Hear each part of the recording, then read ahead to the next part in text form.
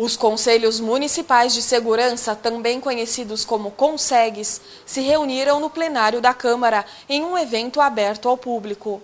Em pauta estava a participação da sociedade na prevenção primária à criminalidade e a proteção das mulheres pela Lei Maria da Penha. Nós pensamos quais são os problemas maiores que estão afligindo todos os bairros, né, aqui de Jundiaí e do estado inteiro.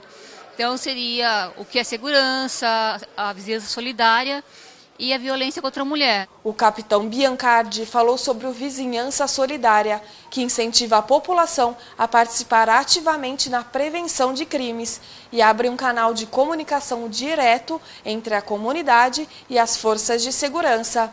E ele explicou como aderir ao programa. Qualquer unidade da Polícia Militar, essa pessoa pode buscar informação, ou esse grupo de pessoas, ou nas reuniões de CONSEG, né? que aqui em Jundiaí nós temos três CONSEGs todos estamos à disposição para explicar, é, inclusive quando as pessoas nos procuram e não conhecem o programa, nós nos disponibilizamos para marcar uma palestra no melhor dia, no melhor horário e no melhor local para essa comunidade e podemos apresentar o programa aí com um detalhamento melhor. A GM Melo falou sobre a Patrulha Maria da Penha, que deve ser implantada em breve no município para proteger as vítimas de agressão que contam com medida protetiva expedida judicialmente. A gente vai ter aí é, a função de de fiscalizar, né, de, de fazer com que esse agressor ele entenda que ele não pode se aproximar, que ele tem que cumprir porque é um, uma determinação judicial. Então a gente vai sempre estar em visitas e patrulhamentos